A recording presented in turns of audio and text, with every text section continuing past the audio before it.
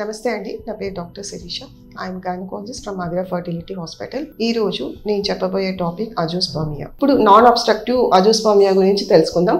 So non obstructive అనేది మళ్ళా ఉండి మనకి ప్రీ టెస్టికులర్ టెస్టికులర్ అని టూ వే వెరైటీస్గా చెప్పడం జరుగుతుంది. సో ప్రీ టెస్టికులర్ అంటే అవి హార్మోనల్ డిస్టర్బెన్సెస్ ఉన్న వాళ్ళని ప్లస్ ఉండి జెనెటిక్ ప్రాబ్లమ్స్ ఉన్న వాళ్ళకి ప్రీ టెస్టికులర్ లెవెల్లో ప్రాబ్లం ఉంటుంది. ప్రీ టెస్టికులర్ అంటే టెస్టీస్ పైన టెస్టీస్ పైన అంటే బ్రెయిన్ బ్రెయిన్లో నుంచి మనకు ఎఫ్ఎస్హెచ్ ఎల్హెచ్ అనే రెండు హార్మోన్స్ మనకి టెస్టీస్ మీద పనిచేసి అవి స్పర్మ్ ప్రొడక్షన్కి దోహదపడతాయి. సో ఈ ఎఫ్ఎస్హెచ్ ఎల్హెచ్ ప్రొడక్షన్ అనేది పుట్టుకతో తగ్గిపోవడము. పుట్టుకతో లేకపోవడము. సో అలాంటివి జెనెటిక్ ప్రాబ్లమ్స్ను మనం చూస్తుంటాము. ఎక్కువగా కామన్ వెరైటీ ఉండేసి క్లైనిఫెల్టర్ సిండ్రోమ్ అండి. ఇంకొకటి కల్మెన్ సిండ్రోమ్ అని కూడా అంటారు. సో ఇలాంటివి ఉండేసేసి మనకు ఎలా తెలుసుకో తెలుసుకోగలుగుతాం? అంటే వాటికి క్యారియో టైపింగ్ అని జెనెటిక్ టెస్ట్ అనేది ఉంటుందండి.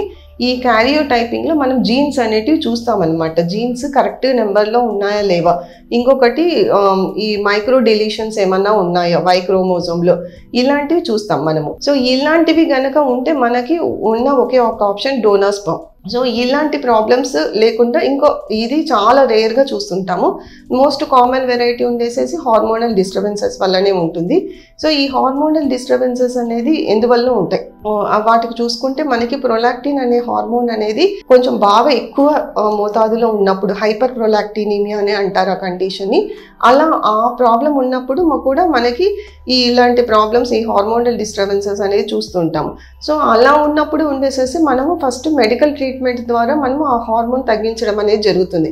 కానీ చాలా విపరీతమైన మోతాదులో ఉన్నప్పుడు మనము ఉండేసేసి ఎంఆర్ఐ బ్రెయిన్ చూస్తామండి. చూసి ఏమైనా పిట్యూటరీ ట్యూమర్స్ ఉన్నాయా అనేది మనము చెక్ చేసుకుంటాము. సో అలా ట్యూమర్స్ ఉన్నప్పుడు ఉండేసేసి ఒక అవసరమైతే సర్జరీ ద్వారా రిమూవ్ చే చేయడం వల్ల కూడా మళ్ళీ వాళ్ళకి హార్మోన్స్ అనేవి నార్మల్ లెవెల్కి రిస్టోర్ చేయొచ్చు. ఇంకొక కామన్ హార్మోన్ ఉండేసి థైరాయిడ్ హైపోథైరాయిడిజం అనేది ఫీమేల్స్లోనే ఎక్కువ కామన్ ప్రాబ్లము కాకపోతే మేల్స్లో కూడా వస్తుందండి. సో ఈ థైరాక్సిన్ ఇలా వచ్చినప్పుడు ఉండేసేసి మనము థైరాక్సిన్ హార్మోన్ని బయట నుంచి సప్లిమెంట్ చేయడం వల్ల వాళ్ళకి థైరాయిడ్ లెవెల్స్ నార్మల్ చేసి వాళ్ళకి హండ్రెడ్ పర్సెంట్ వాళ్ళ మళ్ళీ వాళ్ళకి అజూస్పర్మియా కండిషన్ నుంచి నార్మల్ స్పర్మ్ కండిషన్కి తీసుకురావచ్చు. సో ఇలా హార్మోనల్ ట్రీట్మెంట్ ద్వారా హార్మోనల్ డిస్టర్బెన్సెస్ ఉంటే ఎక్కడ ప్రాబ్లం ఉందో మనం గుర్తించి వాళ్ళకి హార్మోన్ ట్రీట్మెంట్ ఇవ్వడం వల్ల ఈ క- ఈ ప్రాబ్లమ్ని మనం కరెక్ట్ చేయగలుగుతాం. తర్వాత మనము టెస్టికులర్కి వస్తాం. సో టెస్టికులర్ కంటే ఇప్పుడు మనకి ఎఫ్ఎస్హెచ్ హార్మోన్ నార్మల్గా ఉంటుంది ఎల్హెచ్ హార్మోన్ నార్మల్గా ఉంటుంది థైరాయిడ్ హార్మోన్ నార్మల్గా ఉంటుంది తర్వాత ప్రొలాక్టిన్ నార్మల్గానే ఉంటాయి. టెస్టీస్లోనే ప్రాబ్లం ఉండడం వల్లనే టెస్టీస్లో ప్రొడక్షన్ తగ్గిపోతుంది. తగ్గిపోవడం వల్లనే మనకి ఈ ప్రాబ్లం అనేది అజోస్పర్మియా అనేది చూస్తుంటాం అనమాట ఇది కామన్గా ఉండేసి ఇన్ఫెక్షన్స్లోనే ఎక్కువ చూస్తుంటామండి. సో ఈ ఇన్ఫెక్షన్స్కి వస్తే మనము మమ్స్ ఆర్కైటిస్ అనేది ఒక కామన్ కండిషన్ మమ్స్ అనేది మనకి అడాలసెంట్ బాయ్స్లో uh, చూస్తుంటాము.